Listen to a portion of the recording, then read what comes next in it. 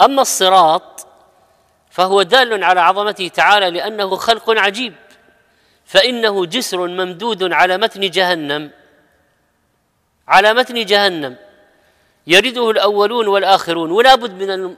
لا بد لهم منه. قال تعالى وإن منكم إلا واردها. كان على ربك حتما مقضيا فما هو الورود على النار؟ المرور على الصراط. كما فسر ذلك ابن مسعود وابن عباس رضي الله عنهما. والصراط أدق من الشعر وأحد من السيف دحض مزلة تزل عليه الأقدام فيه الأقدام.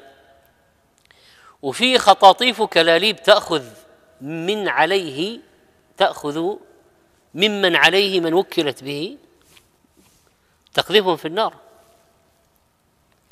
وقد تخدشهم خدشا. فيكون الناس عند المرور على الصراط ثلاثة أنواع. ناج مسلم ومخدوش ومكردس في نار جهنم. ينصب الصراط في ظلمة والنار تحت عمق أبعد من سبعين خريفا.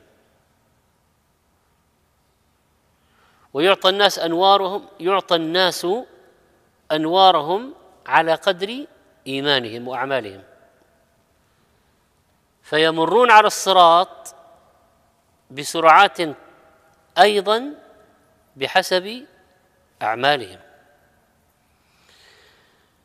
وقد قال عليه الصلاة والسلام فيمر المؤمنون كطرف العين وكالبرق وكالريح وكالطير وكأجاويد الخيل والركاب فناج مسلم ومخدوش مرسل ومكدوس في نار جهنم. مكدوس يعني ملقى يدفع ويلقى.